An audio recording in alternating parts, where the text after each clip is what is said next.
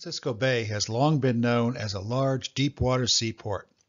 Here you can see through the Golden Gate Bridge to the cities of San Francisco and Oakland in the background. You also see a large container ship making its way out to sea under the Golden Gate Bridge.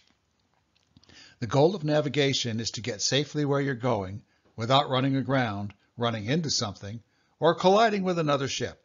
Looks pretty easy with a big wide harbor such as San Francisco has, but there are dangers. In 1936, the steamship Ohioan ran aground in heavy fog. This grounding is famous in city lore because many citizens came out to Ocean Beach to look at it, including my grandaunt who took this picture. Fortunately, no one was killed in this particular mishap, but that was not always the case. Piloting is fundamentally very simple, but to quote from Dutton's Navigation and Piloting, the textbook for my own navigation classes years ago, quote, Piloting requires the greatest experience and the nicest judgment of any form of navigation. Constant vigilance, unfailing mental alertness, and a thorough knowledge of the principles involved are essential. Mistakes in navigation can generally be discovered and corrected in the open sea before the next landfall. In piloting, there's little or no opportunity to correct errors. Even a slight blunder may result in serious disaster, uh, like the one you see here, or like the one that happened in the Suez Canal just a few days ago. Hello, and thanks for stopping by. My name is Bruce Castleman. I am a volunteer docent at San Francisco Maritime National Historic Park. I was once the navigator of a U.S. Navy ship, and so nautical charts and piloting were a big part of my life. By piloting, we don't mean airplanes. We mean when a sailor navigates a ship from place to place using visual landmarks such as lighthouses, beacons, buoys, other prominent landmarks, rocks, cliffs, and so on. In general, within sight or radar range of land.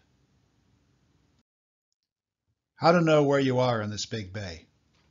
It looks like there's lots of open water, and in fact there is. The San Francisco side is well known as a deep water harbor, but the Oakland side gets much silting and requires digging out by dredges to keep the channels from getting too shallow for ships to pass. There are other hazards too. Large ships like the one we just saw use Global Positioning Systems, or GPS, that track via satellite. much like the one in your smartphone, only more capable and more complex. Before such systems existed, a navigator had to use a paper map instead of an electronic one programmed into some device. Such a specialized map is called a nautical chart. This is the harbor chart for San Francisco Bay you can see marks all over what was just blue water in the preceding photograph. I'm standing next to a full-size edition of the San Francisco Harbor Chart, so you can see how large it actually is.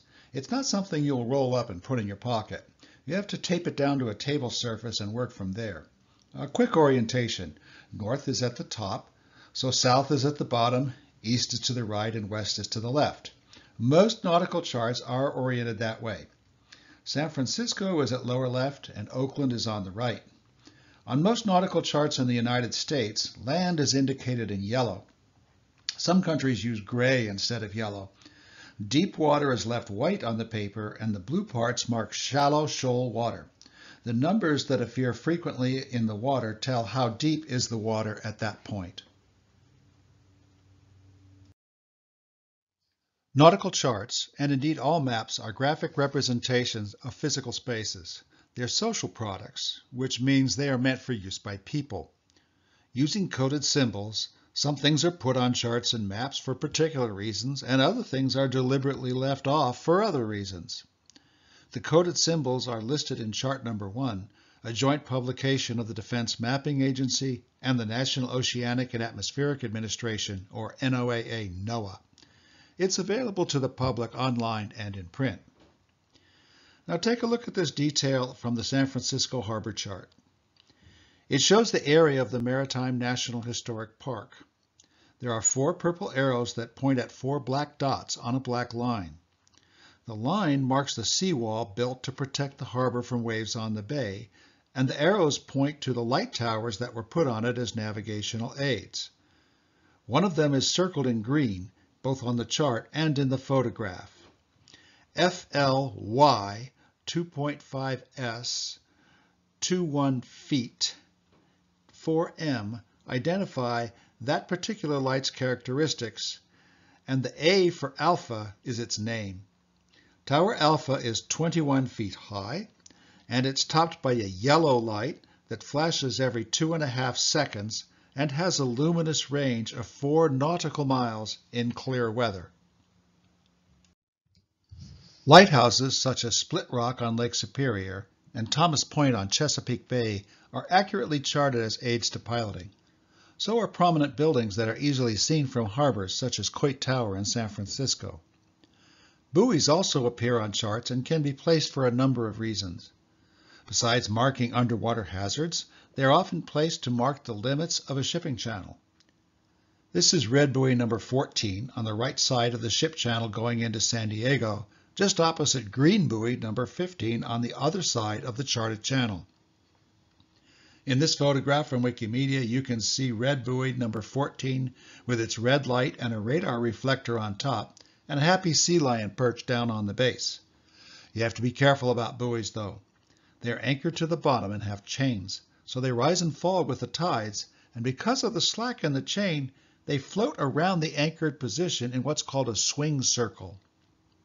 You can never count on a buoy being exactly in its charted position the way you can with a landmark navigation aid, but you must still use buoys as visual guides. Although there are none in San Francisco, many harbors and waterways have specially placed markers called visual ranges. By maneuvering to keep them vertically aligned, you know that you are precisely on the prescribed track. Here's a good image from Wikimedia of a visual range on a Finnish island in the Baltic Sea.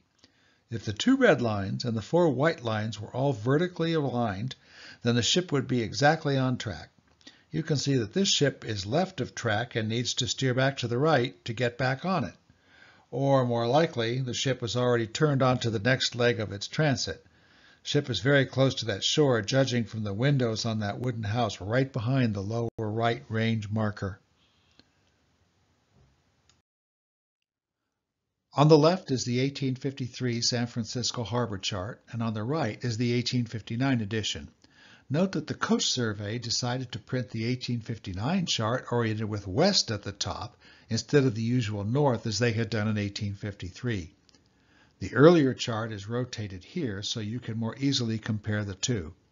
You can see that before the Civil War, the city of San Francisco only covered today's northeastern part, which is at lower right as seen in both charts here. But look at the differences in just six years. Probably the most noticeable difference is the landfills by Rincon Point, which are circled in green on both charts. The annexation of California, followed by the population influx that accompanied the discovery of gold in the Sierra Nevada, led to a huge influx of shipping into San Francisco Bay. Production of reliable nautical charts of the Pacific coast became an urgent priority for the Coast Survey and this 1853 chart is one product of that effort. North is at the top, Marin Peninsula is at upper left, San Francisco is in the lower center, and Oakland and Berkeley are on the right. In the upper right corner, there is a smaller scale inset showing the recommended approach to the Golden Gate from the Pacific Ocean. Here's the 1853 chart along with the 2017 edition. They both bear the title Entrance to San Francisco Bay, they look very much the same, which should not be a surprise. You can see circled in green Four Fathom Bank offshore and Alcatraz Island in the bay, right where they've always been. But note how different is the San Francisco City waterfront between the two charts. One thing that is not much different is the recommended approach to the Golden Gate from the Pacific, circled in red on both charts. The overall accuracy of the 1853 chart is another tribute to the work of the Coast and Geodetic Survey, a tradition continued today by its successor, the National Oceanic and Atmospheric Administration. Take a few more moments to look over these charts and to reflect on both change and continuity over time. Three major bridges stand where none had been before. Buoys mark a channel west from the Golden Gate Bridge to the open sea. The city of San Francisco has expanded, but is still where it was. But starting where the Golden Gate Bridge is now and going all the way around to the airport, which is off the bottom of the chart to the south, only one spot on the entire shore is the same as it was in 1853. That one is Black's Point, between our park and Fort Mason.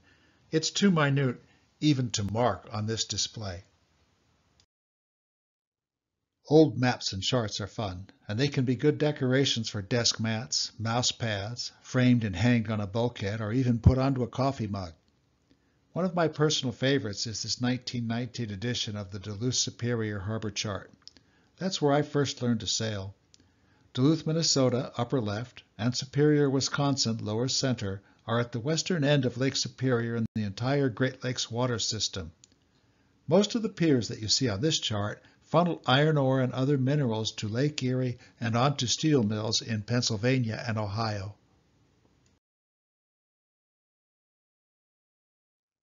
But you have thousands of choices to download at no charge from the NOAA Historic Charts website.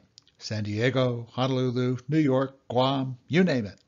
Start at their homepage, https colon slash slash historicalcharts www.noaa.gov slash and go from there. When you're out to sea, beyond visual and radar range of any kind of land, then what? There are no more lighthouses and buoys to guide you. You can see the sun, stars, planet, and the moon, but you must use different navigation techniques. Next time we will talk about navigation on the high seas.